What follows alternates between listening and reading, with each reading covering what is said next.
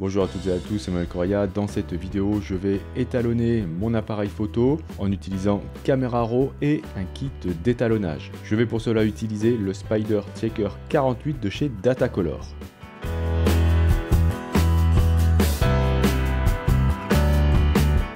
Alors comment ça se présente? C'est ça, vous avez un petit boîtier gris Lorsque vous l'ouvrez, vous avez 48 échantillons de couleurs. Mais là, je trouve que la lumière n'est pas géniale, alors on va aller à l'extérieur.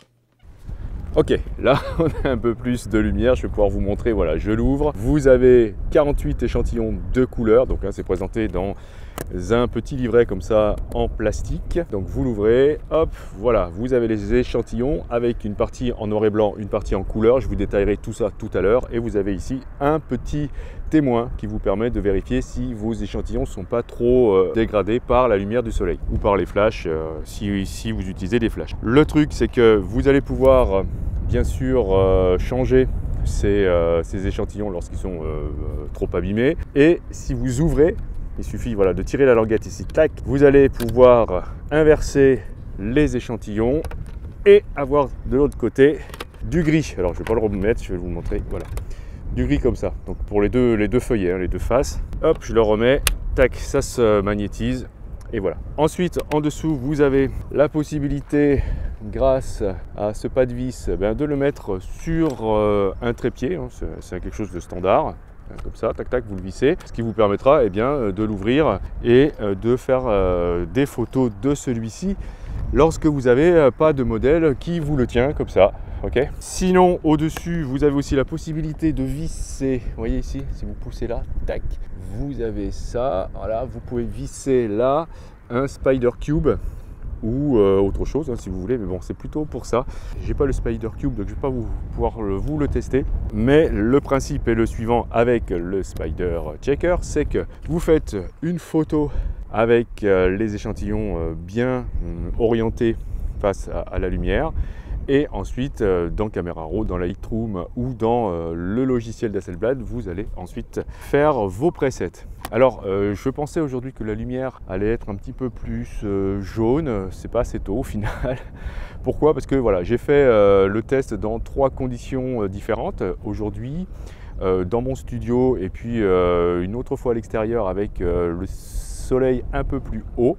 Et j'aimerais bien savoir en fait si c'est nécessaire de refaire toujours euh, la correction des couleurs à chaque fois ou si la balance des blancs suffit une fois qu'on a fait euh, déjà au préalable bien sûr la correction des couleurs. Donc aujourd'hui, eh je vais vous montrer dehors comment ça marche. Donc je vais le visser sur le trépied et prendre en photo les échantillons bien exposés si j'y arrive parce que ça va tourner à cause du vent. Voilà, je l'ouvre, tac, et voilà, ça tourne, je le tiendrai, je le tiendrai à la main.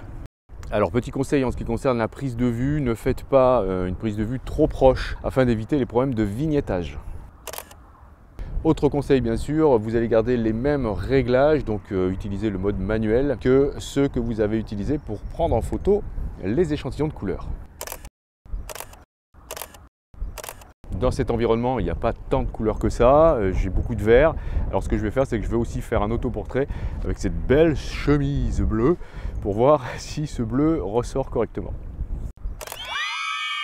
Là, j'ai trouvé un autre endroit avec euh, des petites couleurs euh, sympas. les conditions lumineuses ont un peu changé. Le soleil est sorti des nuages et j'ai l'impression qu'on est face à une lumière un petit peu plus jaune. Donc, je vais reprendre en photo les échantillons et faire une série de photos ce que je vais faire aussi, c'est que je vais prendre en photo uniquement les gris pour voir si ça suffit pas de faire euh, que la balance des blancs. Donc voilà, hein, quand vous retournez, ça donne ça. Bon allez, les prises de vue sont terminées. On va maintenant rentrer au studio pour euh, faire le test de tout ça. Bien alors, la première chose à faire avant de l'utiliser, c'est bien sûr d'aller télécharger le logiciel. Vous trouverez le lien dans la boîte du produit. Ensuite, bien sûr, c'est toujours intéressant d'aller récupérer la doc. Vous allez trouver plein d'infos utiles dedans si vous voulez.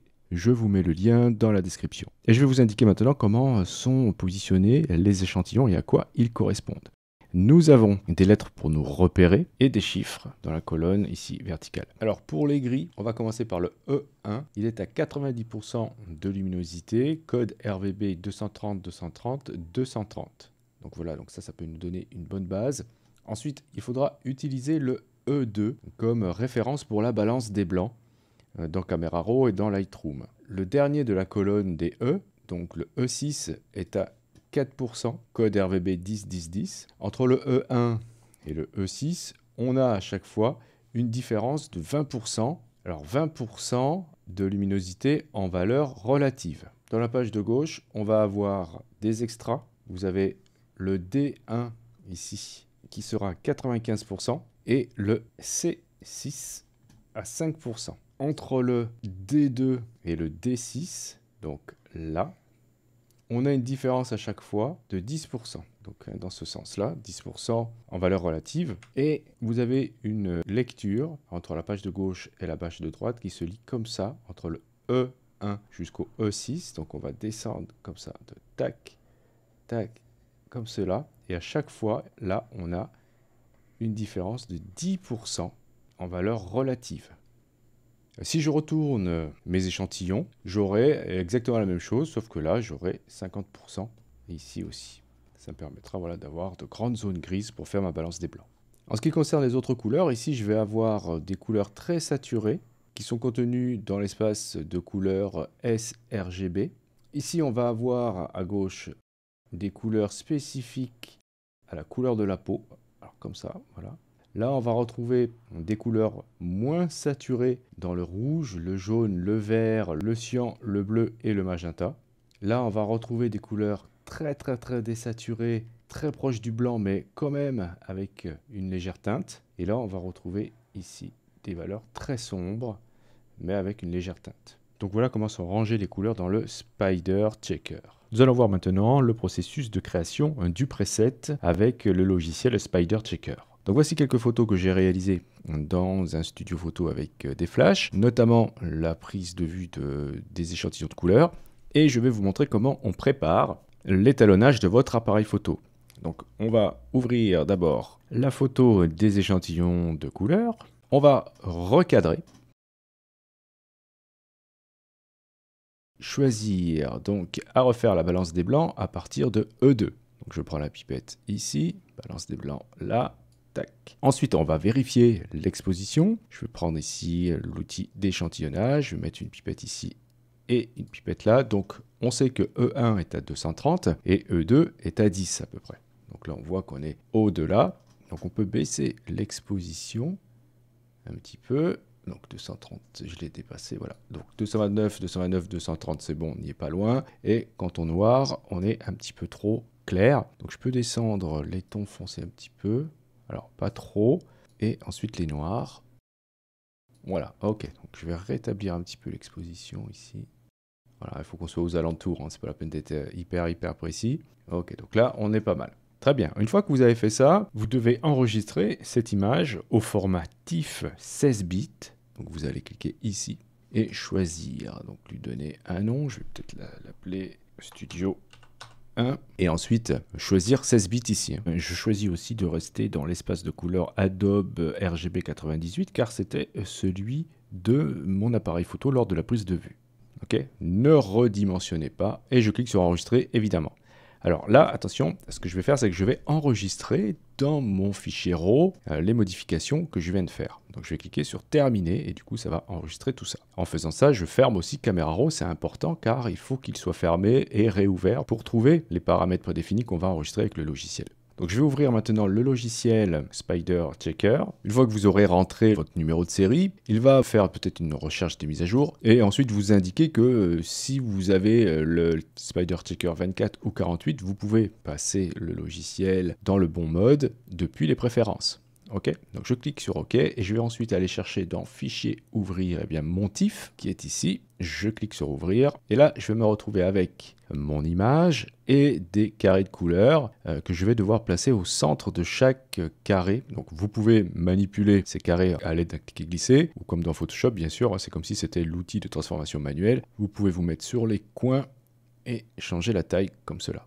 Le but, c'est que ce soit à peu près centré. Voilà, là, c'est bon. Ensuite, vous avez euh, trois modes. Vous avez saturation, colorimétrique et portrait. Saturation, ça vous donnera un résultat euh, légèrement plus saturé. Colorimétrique, c'est celui qui va convenir à la plupart des situations. Et vous avez portrait. Le portrait va permettre un meilleur rendu de la peau. Donc là, je vais cliquer sur euh, colorimétrique, mais rien ne vous empêche bien sûr d'en faire plusieurs et de les tester. Hein. Donc je vais cliquer sur colorimétrique, je vérifie bien que j'enregistre vers ACR, donc Adobe Camera Raw, et euh, ça va enregistrer le preset directement dans le bon dossier, en tout cas dans le dossier officiel des presets de Camera Raw.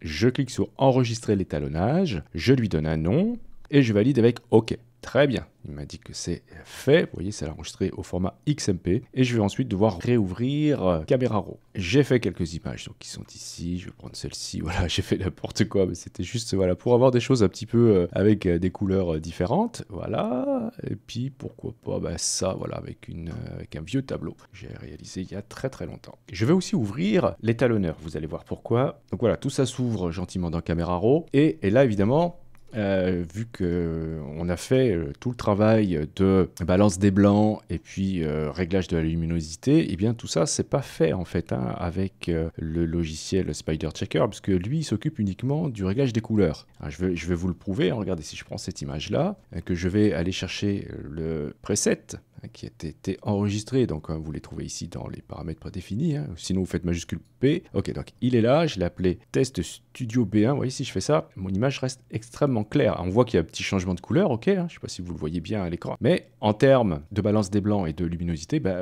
rien n'a été fait avec le réglage. Si je l'applique, je vais regarder dans modifier. Euh, regardez ici, exposition, tout ça, tout est à zéro. Ce qui est modifié, c'est uniquement dans mélangeur de couleurs. Si je clique là, hop, voilà, j'ai mes curseurs qui ont été modifiés voilà, pour régler en fait uniquement les couleurs. Donc là, ce qui va être important ensuite, eh bien, c'est d'aller appliquer les autres réglages de balance des blancs, etc. Donc je vais aller rechercher ça, je vais faire CTRL C, je sélectionne cette image, je fais CTRL V, tac, voilà. évidemment, ça va tout remis à zéro parce que là, j'ai tout pris. Euh, j'aurais dû faire autrement, mais c'est pas grave. Je retourne dans les paramètres prédéfinis et là, je vais appliquer, voilà, à nouveau, mon test studio. Donc là, dans ce cas, je change uniquement que les couleurs. On peut voir avant-après. Donc ça, c'est avant à gauche. Et après, c'est là. On voit qu'il y a quand même une grosse différence de rendu de couleur. Et euh, la version après ici est nettement plus juste, en tout cas d'après mes souvenirs, que celle de gauche. Et évidemment, il est important d'avoir un écran calibré hein, pour euh, pouvoir euh, bien juger.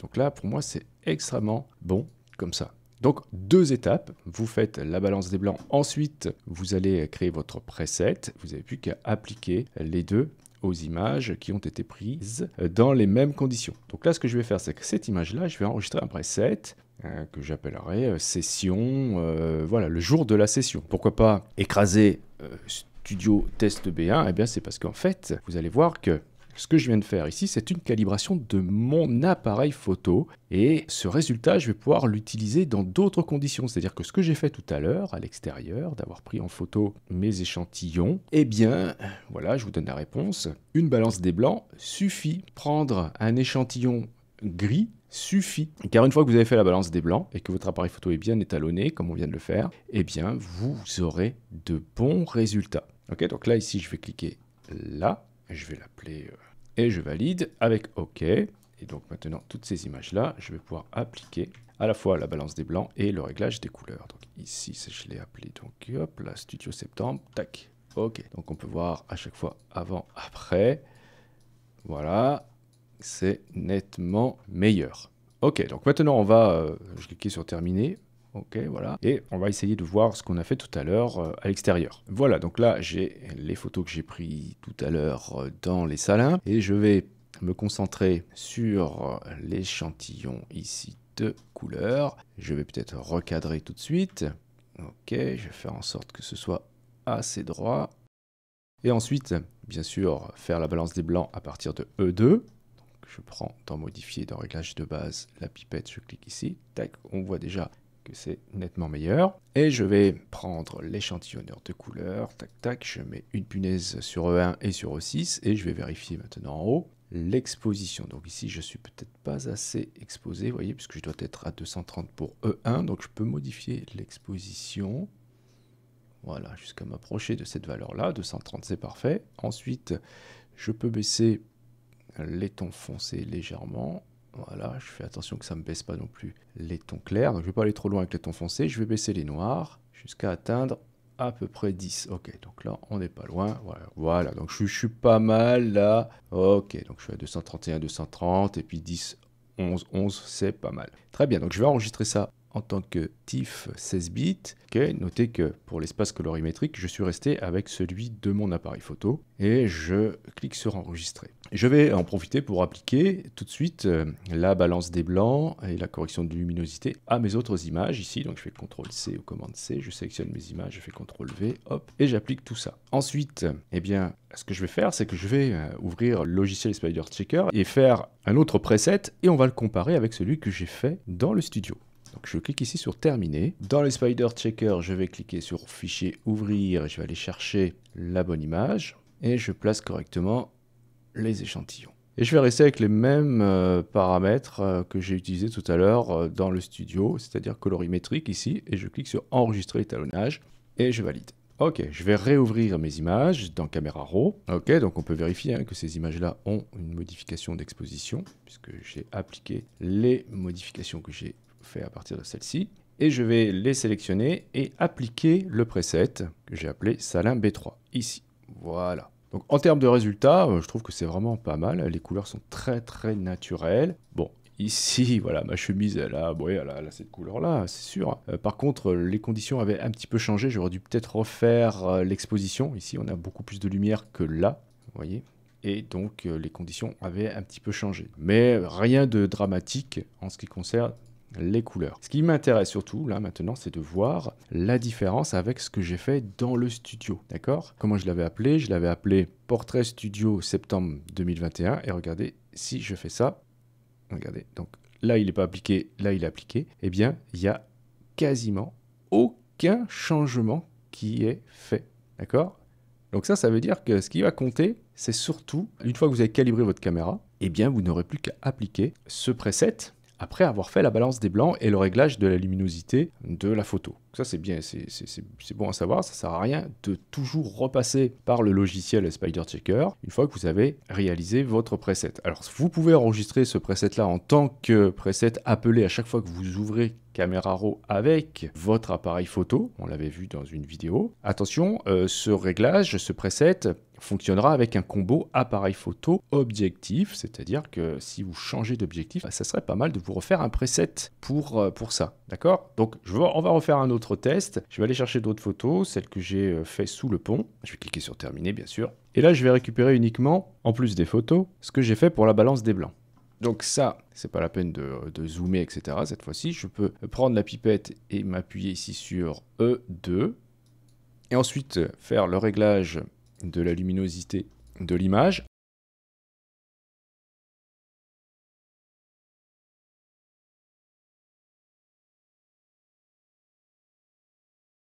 Donc, ok, donc on s'approche des valeurs conseillées. Je vais copier tout ça, coller ça ici. Ça me donne quelque chose de très très très très sombre. C'est pas forcément ce que je souhaite. Je peux vérifier que là, voilà, j'ai beaucoup d'endroits qui sont vraiment très écrétés. Voilà, tout ça c'est trop sombre. Mais ce qui va m'intéresser d'abord, c'est de voir ce que ça donne avec le preset ici, qui est donc celui du studio là. Donc on peut voir avant, après, donc ça éclaircit un petit peu. Vous voyez ici, c'est nettement mieux. Et à tout moment, évidemment, vous pouvez eh bien, modifier votre exposition puisque les couleurs sont pas mal ici. Donc vous pourrez dire que non, les noirs, je voudrais qu'ils soient légèrement plus clairs quand même. Alors pas trop non plus. Hein. Peut-être juste essayer de les désécréter. Mais en termes de rendu de couleur, vous avez quelque chose qui est pas mal du tout. Je peux aussi euh, vous montrer hein, que si j'utilise, parce que je l'ai fait déjà, le preset à partir de ces conditions de lumière, donc je l'avais appelé sous le pont ici, pouvez voir donc qu'il n'y a aucune différence en termes de rendu avec celui que j'ai fait dans le studio. Très très peu. Même celui que j'avais fait dans les salins, vous avez très très peu de différence. Donc je vous conseille plutôt une fois que vous avez fait votre preset combo appareil photo euh, objectif, et bien ensuite de ne faire que la balance des blancs. Alors comment vous allez pouvoir appliquer euh, ce preset directement dans Camera Raw lorsque vous allez ouvrir euh, des photos réalisées avec votre appareil photo? Eh bien vous allez cliquer sur la petite roue crantée ici, vous allez aller dans paramètres par défaut et là au lieu de choisir une valeur par défaut Adobe, vous allez dans votre liste choisir de sélectionner le paramètre prédéfini et vous allez ensuite dans paramètres prédéfinis de l'utilisateur. Moi je vais prendre celui que j'ai créé qui s'appelle portrait studio, ok. Et ensuite je vais cliquer sur remplacer le paramètre global pour des appareils photo spécifiques. Je vais choisir euh, donc mon appareil photo et cliquer sur créer un modèle par défaut et valider avec OK. Donc maintenant, quand je vais ouvrir des photos dans Camera Raw avec cet appareil, automatiquement, euh, ce preset sera appliqué. Donc je n'ai plus qu'à faire uniquement la balance des blancs lors des prises de vue, ouvrir mes photos qui se verront automatiquement appliquer le preset. Je vais tout sélectionner et me baser sur cette image-là pour faire la balance des blancs sur E2 et ensuite eh bien, faire, comme on a vu, l'exposition. Si vous constatez que c'est trop sombre, encore une fois, eh bien, vous pouvez corriger. En tout cas, en termes de rendu de couleur, c'est très très bon. je trouve que l'expo est un petit peu sombre. il y a pas mal de zones écrétées. C'est pas grave, ça, il suffit ensuite de corriger euh, juste les noirs.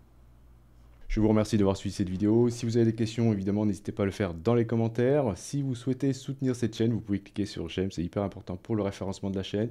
Si vous n'êtes pas encore abonné, vous pouvez cliquer sur abonnez-vous et n'oubliez pas la petite clochette pour être averti des prochains cours ou des prochains tutos. Et justement, on se dit à la prochaine pour un autre tuto.